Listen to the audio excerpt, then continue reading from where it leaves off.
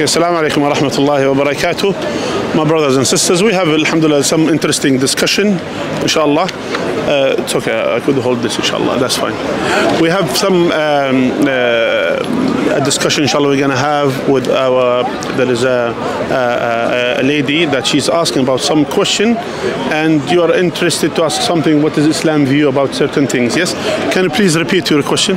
Yeah, so I just wanted to know, like, why is it that, uh, what is the logic or reasoning behind men having the privilege of uh, being able to do triple talaq, but uh, women don't? Like, is there like a reason behind it? I'm not aware of it, so it would be nice if uh, you could say.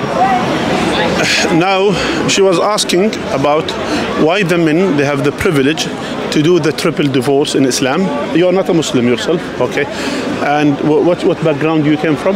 So, uh, Hinduism? So you are, you're Hindu, Yeah. and you wanted to know Islam. Why Islam give the privilege the privilege to men to do triple divorce, where the women they don't have the same the same concept.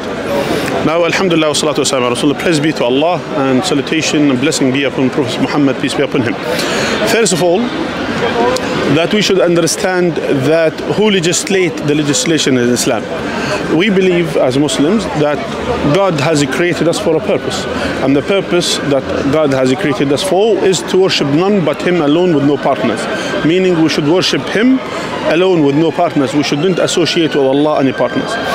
And the, when we say worship God in Islam is, is not just only is more like broad concept in Islam rather than to be something restricted to be in a mosque or just only the, the act of worship in a mosque. Whatever we do in the life, it is it should be an act of worship as Allah mentioned in the Quran. وَمَا خَلَقْتُ الْجِنَّ وَالْإِنسَ إِلَّا لِيَعْبُدُونَ I have not created the mankind nor the jinn kind except for my worship. So God has created us for this concept, which is to worship the God and oh, everything in our life it has to be an act of worship. That includes our relation with our fathers, our relation with our mothers, our relation with our spouse, our relation with our children, the things that we do, uh, everything, like include even what we do to the environment around us. It has to be an act of worship, which means we should take care of the environment, we should take care of our families, etc. Now, and to uh, and and God and God as well sent to us prophets and messengers one after another to convey the message of God to us. And the final messenger was the Prophet Muhammad, peace be upon him, came and conveyed the message of God, and as well brought to us the legislations of God that includes the marital, the marital relationship and to uh, and to manage the relationship between the husband and wife. And there is a concept that they think that the man thinking that the man is entitled to do the divorce and they think that the woman she is not entitled to, to ask for divorce. When in fact that in Islam the woman is entitled to ask for divorce depending on the reasoning and she should have kind of a valid reason. And if she doesn't have even a valid reason she's entitled to ask for something called khulu' and the khulu' is a request by the wife asking the husband that to nullify the marriage based on that she couldn't continue to to live with her, with with her husband. And Islam established this in Islam and it was established something which is a concept established in Islam. And she's entitled to ask for the khulu' and the khulu' it should have a condition otherwise she will be sinful for doing so for asking things that is without reasoning. And the same thing as the man to divorce his wife without a valid reason then as well he is sinful for for asking such things. So they should have both of them they should have a valid reason. And the women when she is asking for the khulu' which is literally to to uh, to nullify the marriage based off that she does she couldn't establish the rules of Allah within the marital relationship. As the hadith of the Prophet sallallahu a woman came to him and she said to him O Messenger of Allah my husband such and such he is a good person and I don't see any any bad things in him but I cannot live in sin in Islam. Meaning I cannot live like I don't want him I hate to stay with him and at the same time I couldn't fulfill his rights uh, which is he said أكره الكفر في الإسلام meaning I hate that to be ungrateful while I'm a Muslim and then the Prophet sallallahu alaihi wasallam he said to her he said then uh, then return back that the mahar or the, the the the dowry and she was taking a garden from him or something like a, a place uh, which is an, a land a piece of land that he gave her as a gift for the marriage. And then he said return it back to him. And then he asked the man to do the khulu' for him for her.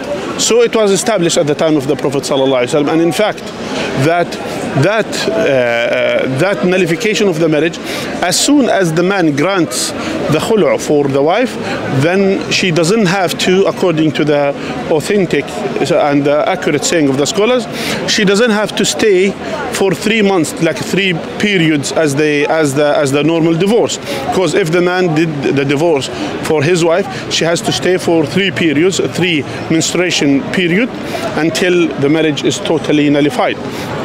In fact, in this, that you only need to wait for only one menses uh, uh, period, and then after that, you know, and even that marriage, uh, that marriage will be nullified as soon as the khulu' was granted, but just only to make sure that that the womb is clear from any babies. So the, she has to wait for her period, and then after that, she's entitled to get married to another person, and that's what generally the ruling of Islam. Even though some scholars they said she has to wait for three months, but the accurate saying based on a hadith, which is a, a statement from the Prophet ﷺ, that only she has to wait for only one period. So that's that's an answer for It's not just only the men has the privilege. Actually, the woman she has the privilege as well to do to ask for khulu', where the man doesn't have the doesn't have the same concept. He is entitled to divorce, and if he divorce, he has to give as well, uh, which is uh, the mahar, the dowry that he has already given, and as well he has to spend on her for three months until until the marriage is nullified, you know, totally. So uh, the woman she doesn't have to do that. So he has to spend on her, he has to take care of her until the the third period is finished from her and she purified herself from that. Then after that, the marriage is is finished. And as well, the woman is entitled as well to ask for nullification of the marriage based on harm. For example, if the if the husband is, for example, abusive, or if the husband didn't fulfill her rights, like for example, didn't uh, spend on her and uh, and didn't, uh, for example, for example, was ill or something like that, didn't fulfill her rights, then she is entitled to go to the judge and asking for nullification of the marriage. And based on this, if she, if the judge finds that she's, she, she will be, if she lives with him, she will be in harm and that could harm her more, then the judge is, is entitled to do the nullification of the marriage based on harm, and she will be entitled for all her full rights, including the her dowry, including being to, to spend on her until her last uh, period is finished. That and that's as well she's entitled for that. So that shows how Islam is fair dealing with men and women.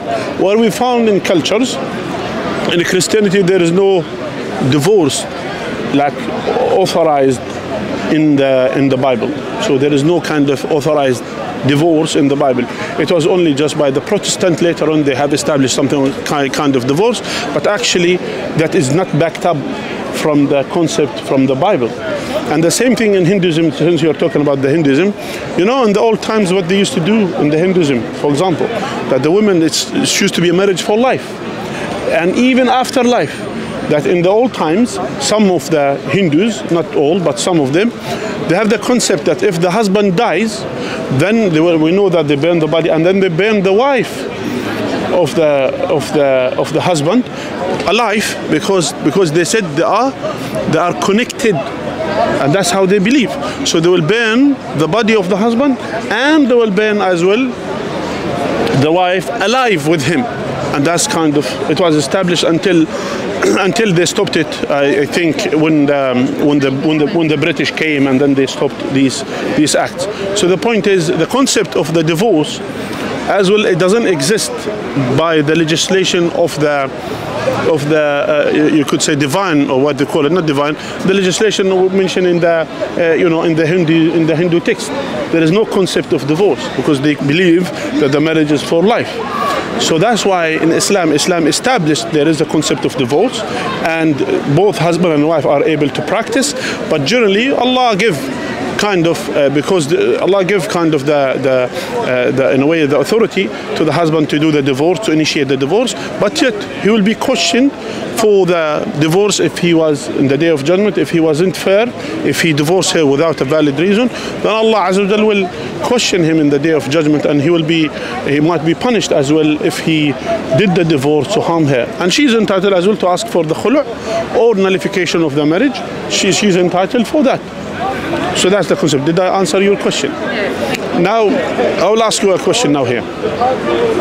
Now, did you did you read about Islam yourself? I'm kind of curious. You're just curious. And what do you think about the, the answer that I, I mentioned to you? What do you think about? Do you want to read more about Islam, and do you, are you interested to learn more about Islam? Yeah, I would like to. So I advise you to learn about Islam. And related to the three divorce, by the way, some people they think the practice of the three, three divorce, even though it is a saying of the scholars of Islam that it is uh, vast majority of the scholars of Islam they believe if the man did the three divorce in one go, then means the marriage is nullified instantly. But we have as well some authentic hadith from the Prophet wasallam that uh, that one of the Sahaba of the Prophet, one of the companions of the Prophet, did divorce his wife, and that the Prophet wasallam he only accepted as one divorce, which means even if the, if the husband said to his wife, "You are divorced 1,000 times," still is considered according to the hadith of the Prophet peace be upon him that is considered to be one, and that means she has to wait for uh, for her period, the th- three months, literally either three months or three menstruation period, and within that he is entitled to return her back or to return the marriage back by again the same as he said by word, he is entitled as well to return the marriage back. So it's a concept as well. It's known by many of the Muslims, but actually the accurate saying and statement of the Prophet wasallam, it was only considered to be one divorce, and it doesn't nullify the marriage instantly. Then after three months, if they got back, and if he divorces her again, she has to wait another for period, and if he return her back before the before the end of her, say idda, which is the three menstruation period, and the third time if he did the divorce, the final divorce, that shows that the marriage couldn't be established between them, and best for both of them to find, you know, a better spouse, and that's what Islam. So rather than to be stick keep divorcing and bringing back, divorcing, bringing back. So at least they could move on to uh, to establish a healthier environment, family. Yeah, is that clear, sister? All right, thank you. No problem. Okay. Jazakumullah khair. And that's an advice, inshallah ta'ala, for my brothers and sisters that not to haste into the divorce and not to haste and as well, because unfortunately, we even non Muslims, they come and they, they, they notice these practices by Muslims. So that's why it is an advice for my brothers and sisters as well, not to haste into marriage, into the divorce, and not to haste into, especially the brothers who are married, not to haste into giving the divorce, because at the end of the day, you are bringing a bad example, even not just only to Muslims, you are bringing as well a bad example to non-Muslims. Uh, that's why that uh, the marriage is uh, is a concept in Islam, and the divorce as well. It's a concept in Islam, but it has to be based on conditions according to the Quran and the Sunnah of the Prophet sallallahu alaihi wasallam. Jazakumullah khair all. May Allah reward you all and bless you all. Jazakumullah khair. حياكم وإياك. السلام عليكم ورحمة الله وبركاته.